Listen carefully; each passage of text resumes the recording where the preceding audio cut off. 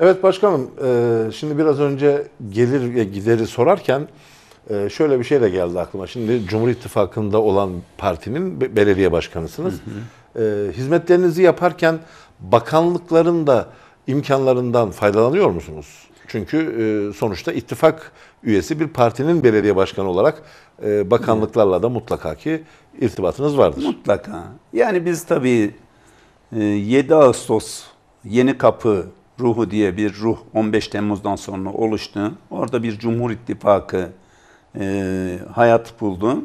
Biz o gün bugün buna olan e, sadakatimizle genel başkanımızın emir ve talimatıyla devam etmekteyiz. Bu konuyla ilgili yapacağımız açıklamalar hani şundan şunu aldık bundan bunu almadık gibi bir açıklama e, çok ihtiyaç duymuyorum. İnşallah her belediye başkanımız bizim gibi kendi kaynaklarını e, daha iyi kullanabilmiştir.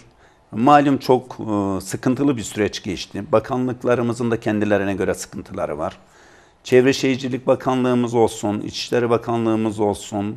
Yani e, depremden tutun da sel felaketine kadar birçok alanda kendi varlıklarını sürdürürken ülke bütünlüğü için tehdit oluşturan terörle de ilgili mücadelelerde biz tabii Türk milliyetçileri olaraktan bu anlamda devletimize olan sadakatimizi hiçbir zaman tartıştırmadık. Onun için de o bakanlıklarımızın her zaman arkamızda olduğunu hissederek kendi ayaklarımız üzerinde durmayı başardık. Evet.